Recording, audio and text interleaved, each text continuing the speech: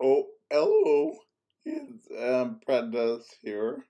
I'm doing a video um, today, but um, number two on the uh, quasi repent uh, video. It's quasi Hev- heavy on quasi, and yeah.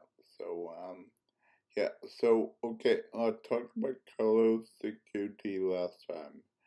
I said, you know, God is really, really speaking to the world in a lot of ways, and um, and with the COVID thing, it's it, really hard for all of us, and um, so, but um, okay, so he's talking. So what do we do?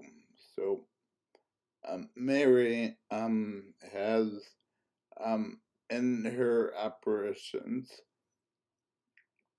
um like the ones that have been approved um she more, more or less goes to uh three favorite things um uh, the the first one um is pray and pray pray pray she says just pray all the time just like pray nonstop. So like she um she's really big on prayer.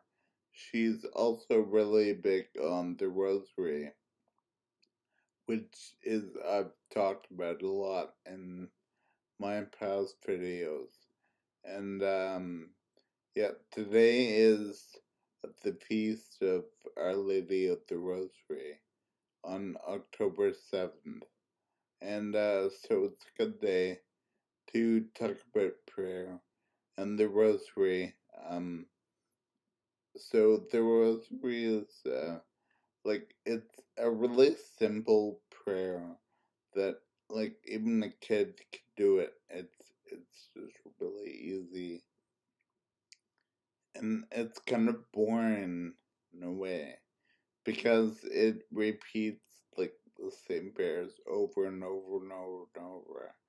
But um, you know that kind of um it's it's kind of calming as well and and and you know that's kind of what uh, we need in this world i think is, is just to kind of meditate and chill out and and just pray the rosary so i'd encourage everyone to pray uh, the rosary it's like even if you're, not catholic you can pray the rosary. Like it doesn't, you don't need to be uh, Catholic. You can pray it if you're just a Christian or even if you're not.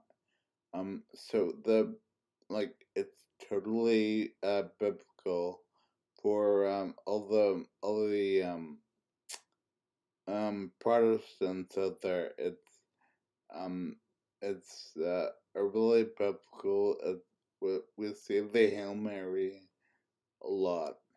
Like it's it's just Hail Marys a lot, and we say the Our Father um uh, less often, and we say the you know Glory be and um the Fatima prayer. So it's just and we we just keep doing that. So that's uh, the rosary. So God, God really wants uh, this kind of response from us. Like it's the most important response um, is our prayer because God is is talking to us through all these things, and and COVID is is one of them. But um, in other ways too, um, he's he, he's just he's communicating, and he wants our response to be uh, prayer. Like he wants dialogue with us. He wants um um he he he wants us to communicate to him.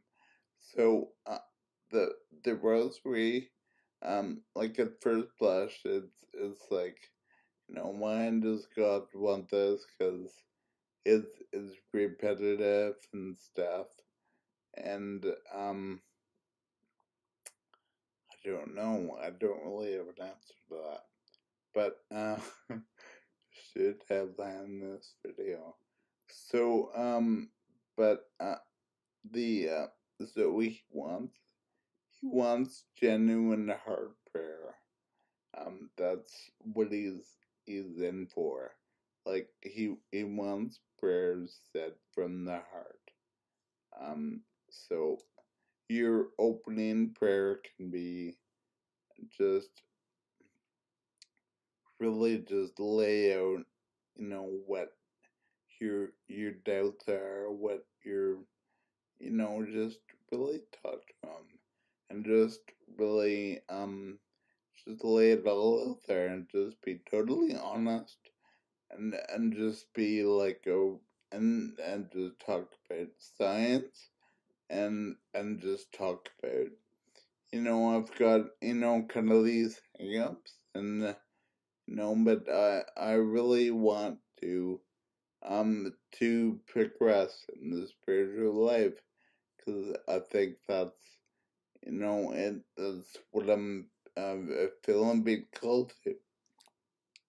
And he wants prayers from the heart.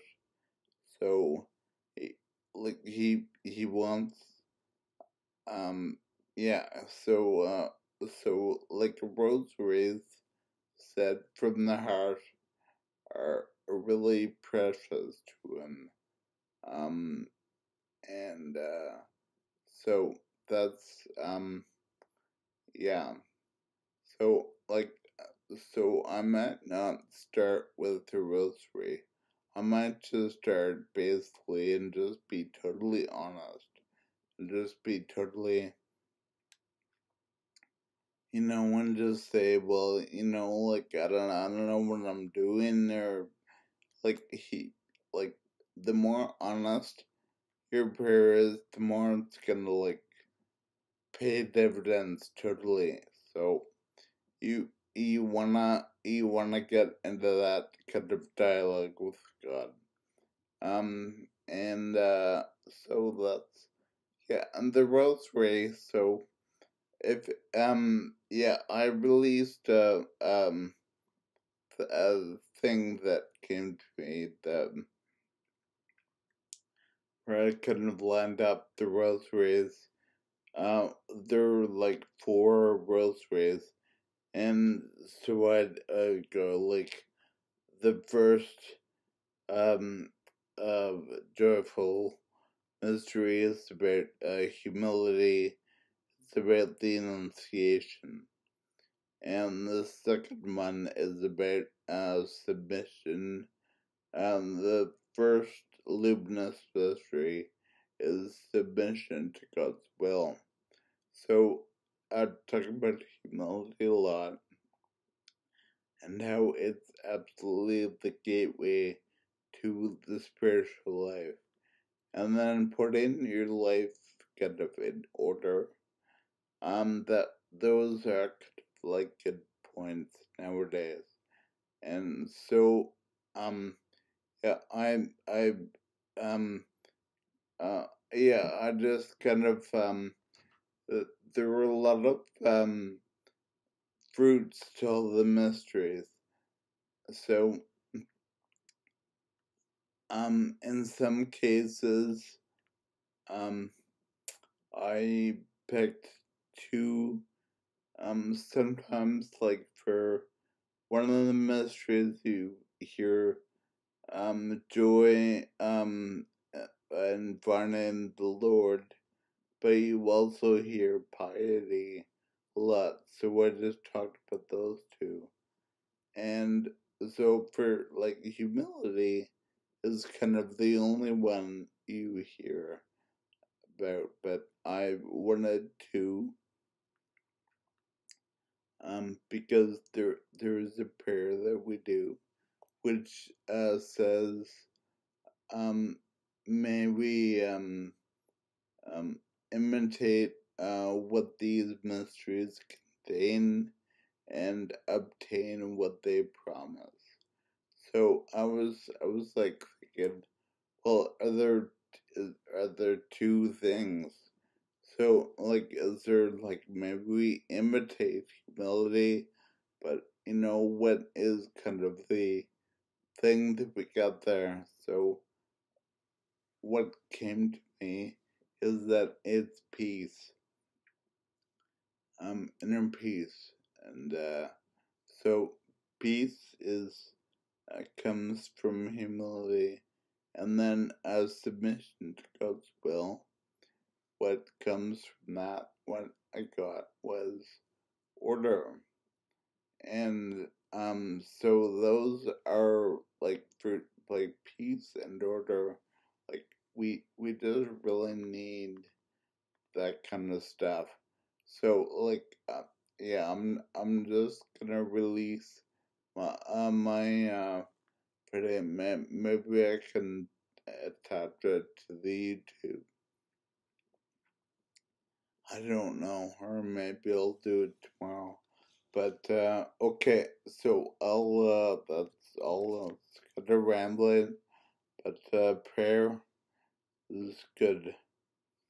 Um, so that's all I'll say. And I'll be back tomorrow with uh, part three of four. Okay, alright, take care, guys. And thanks, bye.